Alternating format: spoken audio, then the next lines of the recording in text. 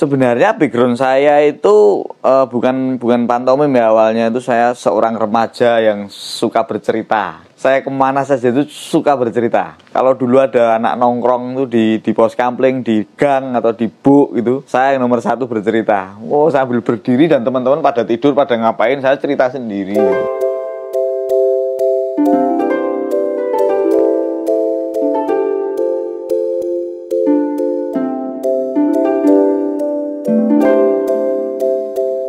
Kakak saya itu pandai balet, menggambar, musik, uh, breakdance gitu. Saya nggak bisa seni sendiri apa gitu. Kebiasaan untuk menceritakan apa itu nulis lewat tulisan. Nah, mungkin, mungkin juga lewat cerita ya. Itu kebiasaan nggak gitu tuh sampai sampai saya SMA sampai saya kuliah itu masih suka bercerita dan saya setelah lulus SMA atau SMA saya sudah mengenal teater gitu kan. Di dalam dunia teater tuh ada mengenal seni pantomim, seni mem, pantomim yang tidak bicara gitu. Kelihatannya menarik deh aku punya bahasa baru karena aku seorang yang cerewet sekali. Tapi jauh-jauh dulu saya pertama melihat pantomim itu kakak saya. Saya punya kakak namanya Yudi Baluyo. Untung itu dia SMP sudah pantomim di TV gitu. Nah saya masih kecil saya melihat itu. Dan saya belajar belajar sendiri dan dulu ada perkumpulan teman-teman bikin komunitas namanya KBSK Telaga kelompok belajar seni dan kebudayaan Telaga. Itu teman-teman dari banyak universitas ya. Tapi sering seringnya kan ketemu waktu ada event di Jogja. Eh, dari kelompok itu ada beberapa teman yang suka pantomim juga, namanya Asita, Inyong, Giras gitu belajar bersama tentang pantomim gerakan saya paling wagu paling jelek. Ternyata mas ya sendiri belajar sendiri gitu. Dulu belum belum mengenal YouTube ya belum mengenal YouTube dan harus mencari data-data berupa buku-buku kayak gini. Sementara Jemek Supardi waktu itu sebagai senior itu sampai saya beliau kan seorang otodidak jadi tidak punya metodologi untuk mengajari bagaimana. Ya udah kami belajar sendiri membentuk kelompok namanya IMEM dan teman-teman Asdrafi waktu itu kalau ditanya gitu ya udah mereka punya kurikulum sendiri dan kami tidak bisa memasukinya ya udah kami berjuang sendiri untuk belajar gitu. Banyak buku-buku yang saya baca saya lihat gitu. Ya akhirnya kami bentuk imam dan pentas di beberapa kampus gitu. Judulnya naskahnya masih saya simpan tuh. Antara aku nyamuk dan kekasihku Pinocchio. Pasti lucu-lucu kan ya karya-karyanya gitu. Kemudian tahun 2001 itu ketemu Broto Wijayanto seorang senior pantomim muridnya Jemek Supardi dan Papi Murti Purnomo. Nah Papi Murti Purnomo itu uh, dari bengkel teater Indra.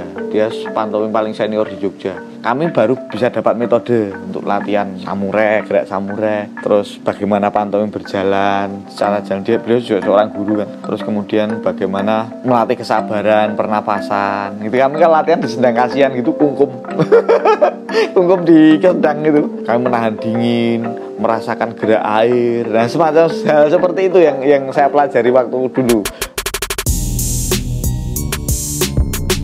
Dulu kan ada kan orang wah yo pantomim yo teater yo nulis buat sing jelas kayak gitu.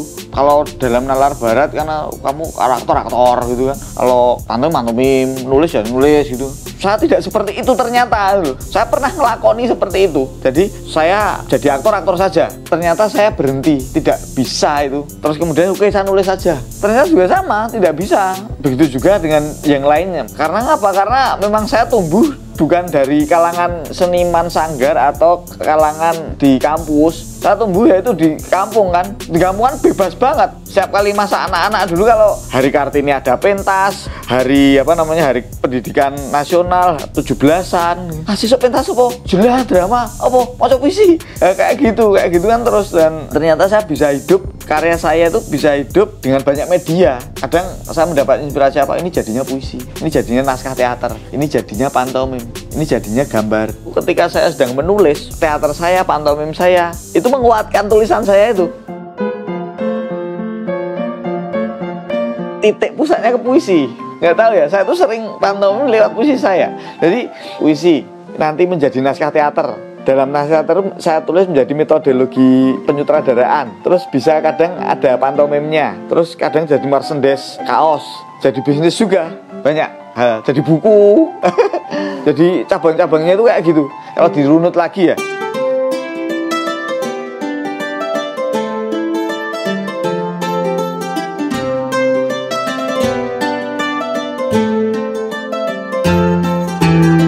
Nah, ini adalah kantor saya ini di Ong Art Center. Karena yang punya bukan saya yang punya itu Pak Ong Wahyu.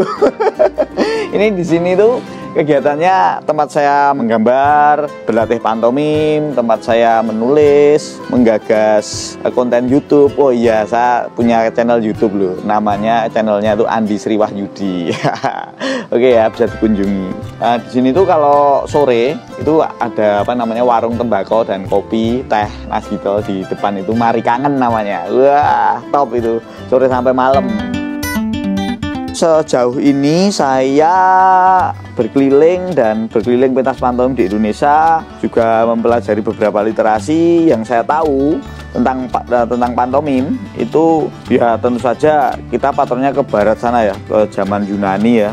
Kasal katanya dari pantos dan memos. Pantos itu gerakan memos itu meniru tiruan. Seperti mau ini melukis menggambar ya tapi tanpa tanpa terus gerak meniru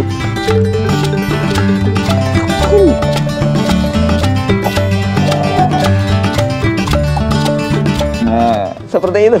Ekspresinya lebih gitu atau melukis di sini.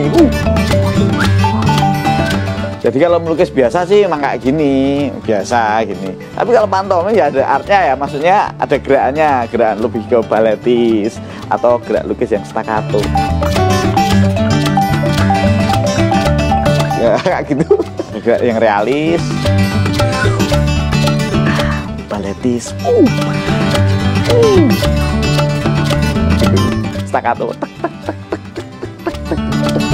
Duh, konon pipisnya juga curut curut curut gitu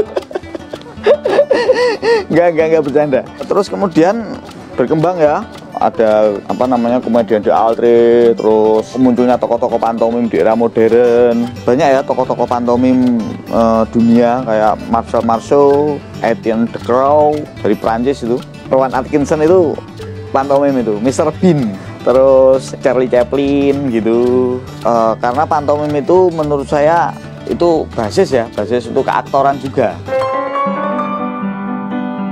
pertanyaan sering yang sering dipakai kan kenapa kok pantomim selalu putih-putih. Itu bukan batas bukan batas. Kalau nggak putih bukan pantomim. Bagi saya bukan batas. Itu ada cerita sejarah masing-masing.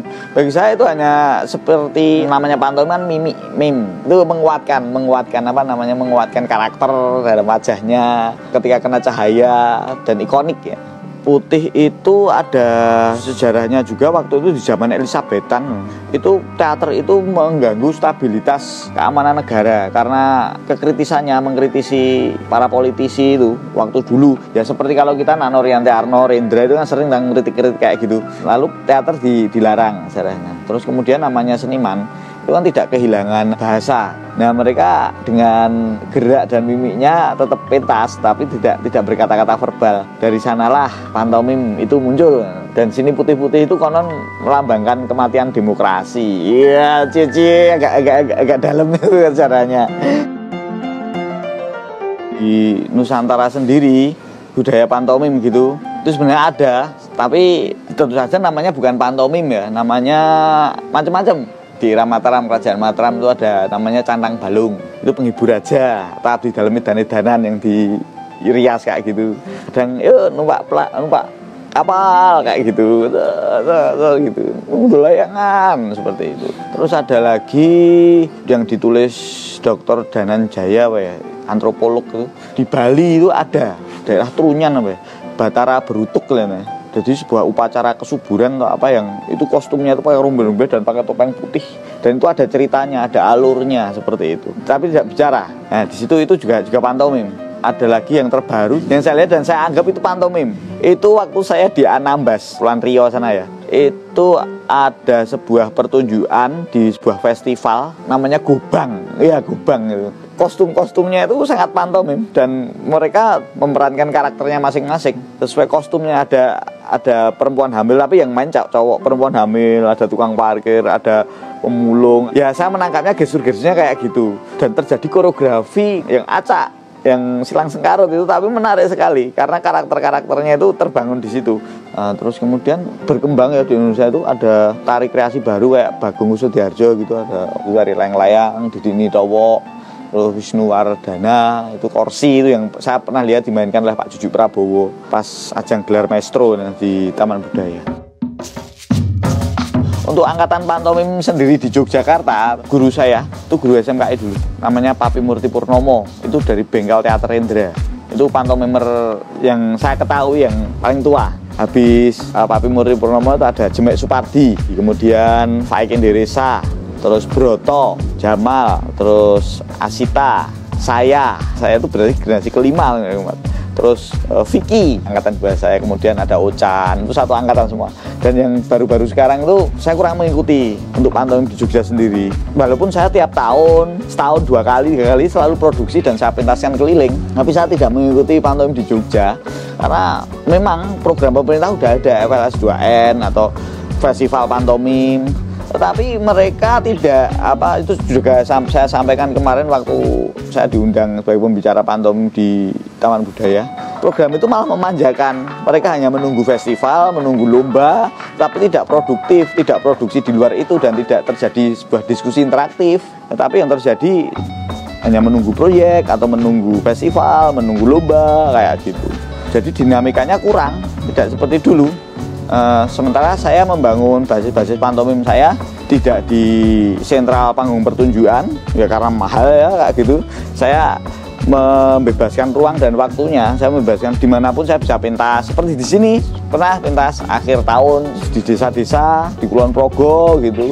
Ya kebiasaan saya keliling uh, pantomim pantomim saya cenderung ke eksperimen ke kontemporer. Kadang ya kadang juga saya main, main klasik main pantomim klasik dan saya tidak membeda-bedakan itu.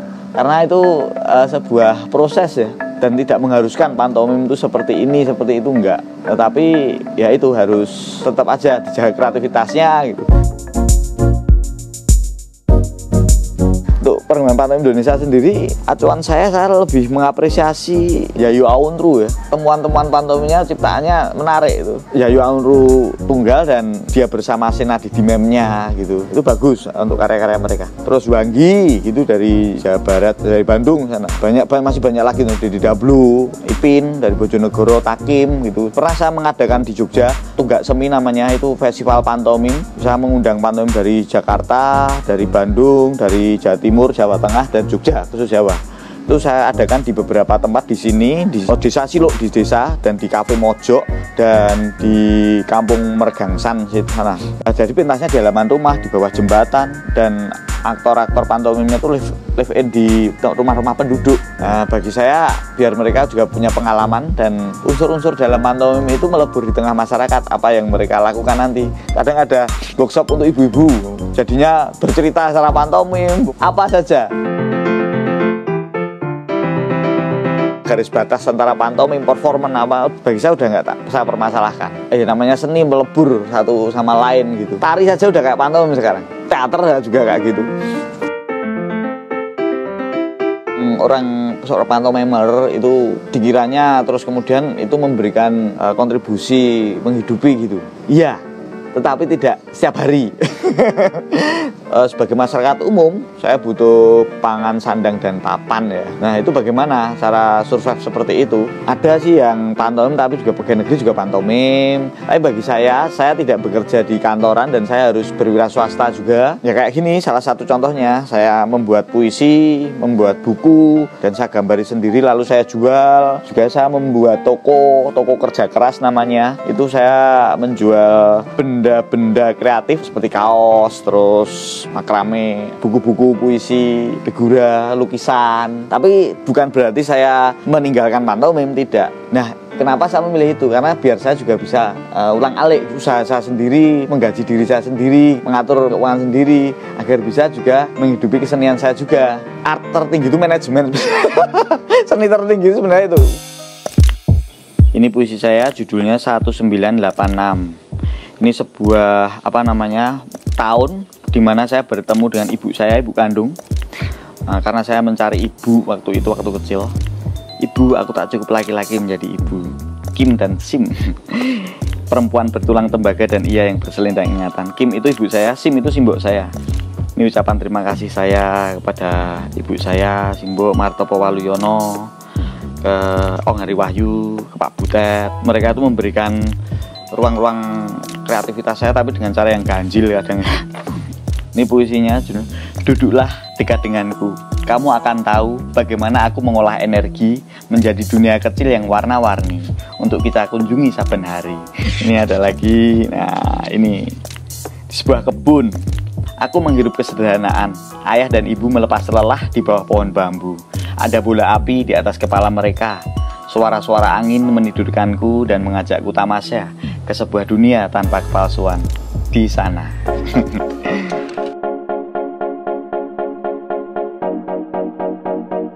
bagi saya tantangan untuk pantomim-pantomimer itu harus terjadi pertemuan-pertemuan orang-orang di luar pantomim. Tidak harus orang seni juga, ya akuntan, arsitek, psikolog, pegawai negeri, tentara atau apa pun. Karena diterima beda dengan dimaklumi ya. Oh iya, saya mengerti itu maklum. Kalau diterima itu benar-benar masyarakat mengapresiasi. Bagi saya itu diterima bisa diterima itu mengapresiasi. Seperti bengkel mem sendiri, kelompok saya itu saya sudah membatasi anggota. Siapa yang terlibat di situ lah, di situ mari manajemennya bukan saya tetapi teman saya yang tahu seorang akuntan saya yang tahu akuntansi. Ya udah ini saya pasrah ke dia biar dia yang mengelola keuangannya bagaimana artistiknya? Karena artistik tidak semata-mata menghias panggung ya tetapi ruang membaca ruang. Saya mengadakan festival di mana? Oh di desa sana. Wah ruangnya bagaimana? Itu butuh seorang arsitek. Saya punya teman arsitek atau seorang perupa atau apa yang tahu tentang itu. Terus kemudian bagaimana menjaga ritme proses itu? Kadang ada kan aktor-aktor yang kadang stres lah apa? Saya kadang konsultasi sama seorang psikolog atau apa gitu.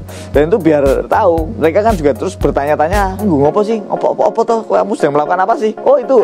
Kayak gitu kayak gitu